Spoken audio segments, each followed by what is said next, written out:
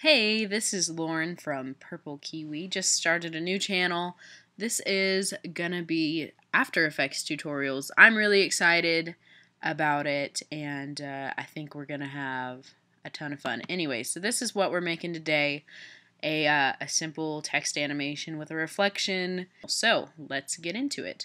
First, let's just hit that little icon there to make a new composition and uh, let's call it main comp or main whatever. It only needs to be like five seconds, not very long at all. I'm just going to turn my transparency grid off. And uh, to get a new solid, just go ahead and hit Command Y on your keyboard if you got a Mac. I really, uh, just to make it look better, I'm going to stick a ramp on there into, uh, just to make it look a little better. I like the radial ramp. Put a darker purple because, I mean, come on, it's purple kiwi. But you can pick whatever color that you want, really. I mean, really try and make it make it look different on purpose. So, um, to just uh, learn more about what the thing can do. Anyway, so pick your colors and pick where your color starts and where it ends. The farther out you drag them, you see that the colors are changing. Notice that I'm like zooming in and zooming out like crazy. If you scroll anywhere within the composition window, that's going to um, that's going to get you uh, where you're zooming in and zooming out. Go ahead and hit uh, Command T to get some text up here and just type in, you know, whatever it is you're trying to make and click back to your mouse button. Over here on the align window, we can line up our text in the exact center of the window. Then go ahead and make a pre-composition out of the text. And the reason that we're doing this is so that whenever we make a change to the text, like if you want to change the word or whatever, it'll affect the reflection and the text composition. So, you know, so that way you're not doubling up on work or having to, or losing your keyframes or whatever. So yeah, just go ahead, pre-comp it. I'm going to name my comp text and pretty self-explanatory.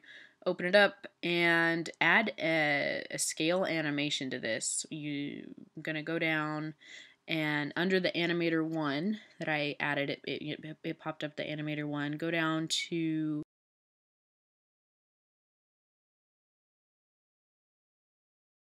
to open up advanced, go uh, change to from percentage to index, and then we're going to change, um, you know, the letters to words. So, so that way the animation's looking how we want. Then down here at the bottom, hit put the scale to zero.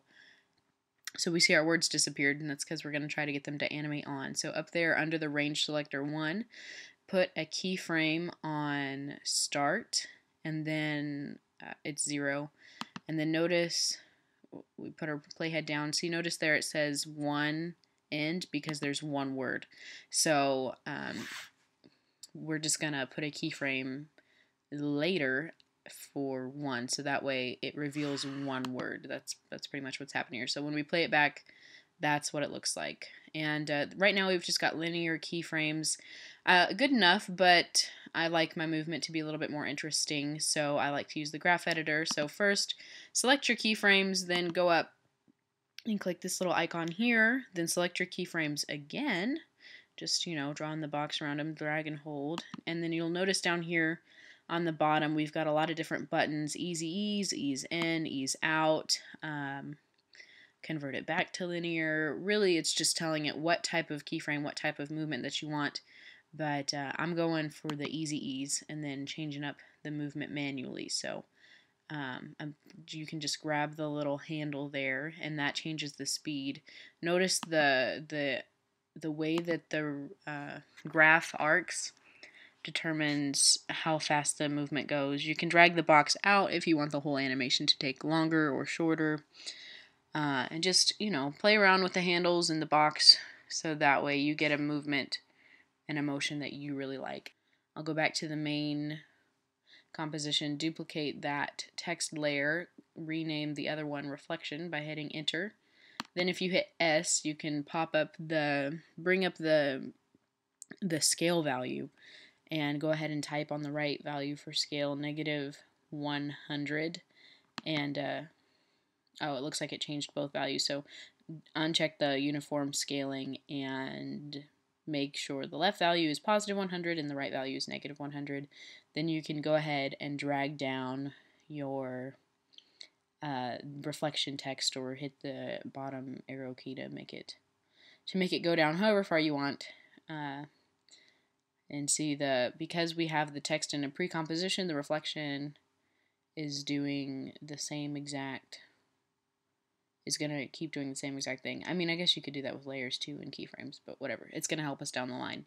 So now for the reflection, let's add a linear wipe to this whole thing on the reflection. And first thing that we're going to do is make the wipe angle 180. Oh, accidentally created a new layer and put it on that. So if you accidentally made a new layer too, delete that. Make sure you have reflection layer selected first. Then go over there and add your linear wipe to your reflection. And again, wipe angle 180 degrees and put down the transition completion until you can see at least part of your word. Um, your number might be different than mine depending on where your stuff is at. Anyways, but I like mine to show about half the word, maybe a little bit more. So I'm going to set it to about 50 and then just feather out so you can see how the reflection is fading as it as it as you go down. Yeah, just make it an even number 55 and feather it up to 150. Okay, so next thing to do to make the real reflection look even better uh, put a Gaussian blur on it and just bump up the blurry, blurriness until you like it. Knock down the opacity. You can bring up the opacity by having the reflection layer selected and then hitting T. Just side note there, I'm using a lot of keyboard shortcuts. Um, and I'll put a, a description in the link below to show you, to list out some keyboard shortcuts that would be good to know um, from my blog, Let's Talk Digital Arts. So, anyways, it's looking pretty good so far. We've got our reflection, we've got our text. I think next we should knock down the text a little bit farther just so the the and the at um, isn't touching each other. Next, we'll make the text actually transition off. So if we go into the text layer, put a use the ellipse tool to put a ellipse around your text. Uh, make sure you're not making a shape layer by having nothing selected. So select your text and then draw an ellipse around it so that way it's a mask and not a shape. And double click, uh, click on the box to kind of move it around so it's not um, cutting off any of your text or anything like that.